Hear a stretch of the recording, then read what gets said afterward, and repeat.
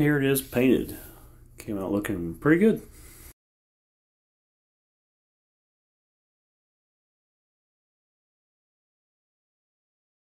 I about lost my voice here, so you guys have to bear with me, but smells good in the shop here today. Uh, the reason is is because of the new paint. New paint always smells quite nice. I am actually pretty surprised uh, how this came out looking. Uh, our climate is challenging, but we finally had one decent warm up here over the weekend, so I was able to get the thing painted and did my best. Uh, there are a couple run spots. Uh, I noticed one right here on the marker. Um, had two heaters going on this for about three or four hours, and then uh, shut everything off so it didn't blow up as we were painting it. But then we went ahead and painted it. Uh, came out looking pretty decent. Um, a couple runs the back of the toolbar here. I really didn't care about the back of the toolbar too much because that's going to be like solid mounting brackets and U-bolts. You'll never even really see it again. And for that fact, you'll never even really see up in here again either. So, yeah, looks better with a coat of paint on it. So now we can start assembling. Cool, coming together.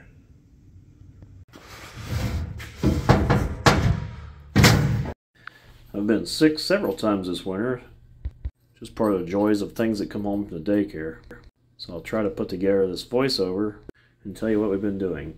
As you can see at the tanks we're going back in, the ladders are going together, stairways going on, and some decals started. There's the CCS fan assembly blower motors. And here's a little quick walk around of the platform.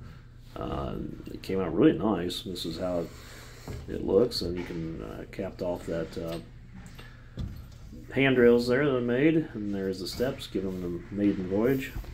Came out really nice. Lots more little detail things to do, but I'm quite happy with the way things look. Well, the paint's cured a little bit more, and we're putting things together.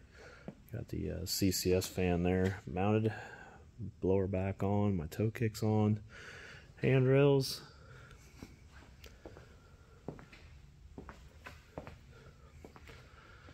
Came out about perfect there was the tank.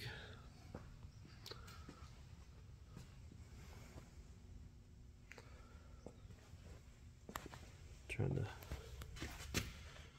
pay attention to detail.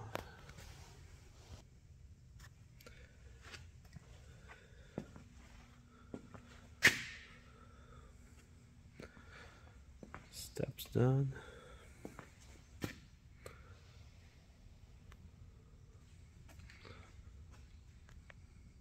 Okay, the tires are on.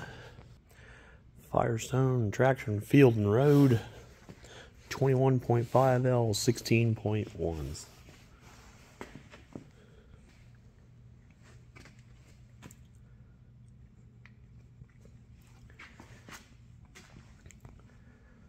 Why did we go with this size tire? Well, the original tires were 16 5L 16 ones. Um, that would be the base series, and you'd have a 18.4 16 one, which is ironically what's on that spiker. And then the 21.5 L16 one, all in the same series of tire, um, very similar diameter, um, all same family of tire. This is the biggest and widest. Uh, we really couldn't change the diameter. These planters are actually recommended I use a 3 inch depth stop. We're going to use a 1 inch but that gets your toolbar to the right height for the row units. Uh, so we had to stay within the same diameter just to keep your planting height and everything, or very similar diameter, but these raised at about uh, an inch over the factory tire. And depending on which tire you buy, there's a lot of discrepancies to height. Anyways, Sul-Trac row width, and they have a 14 ply uh, higher load carrying capacity than the implement tread version now. The only other thing that was in the same diameter class as these that were wider, more flotation tires, such as a 710-22 or like a 650, I forget the model numbers, some odd uh, metric sizes by Alliance Tire, but you're talking tires that are probably three to five thousand dollars per tire, so that was just not gonna be budgetable. So I went with what I thought would work at the best price. Uh, this is a lot more load carrying capacity than what came on at factory. And the reason we went with the bar tread tire is because my uh, my history with farming and using a 21L uh, tire, the wider the flotation, you get a little grease on our hillsides, and you'll look back and your implement's doing about a 45 degree swing downhill.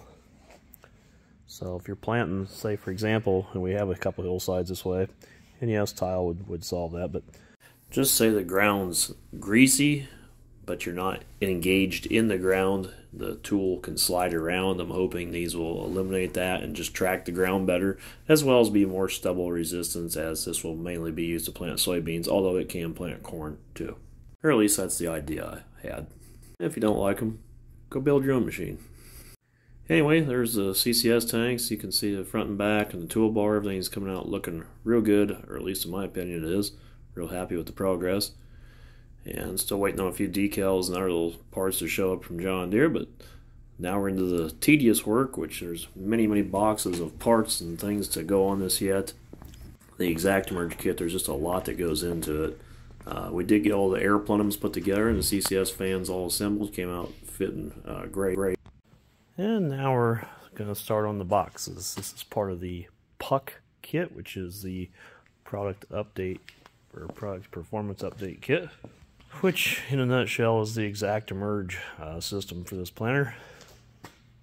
If you're not familiar with ExactEmerge, stickers are on the tank there.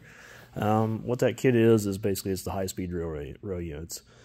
And I talked about that in the first video.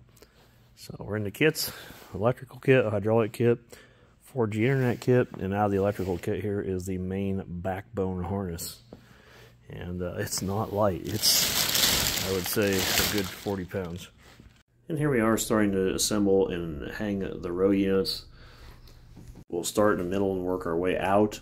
Unfortunately, there's three row units back ordered until April 1st, but they're guaranteed by that date. We're going to have the entire planter done 100% with those last three going on at the last minute. There's a lot to do between now and then, so hydraulics, all those boxes of stuff, which is just wiring. You cannot believe how much wiring connections and other stuff there is on this kit. It's just, it blows my mind.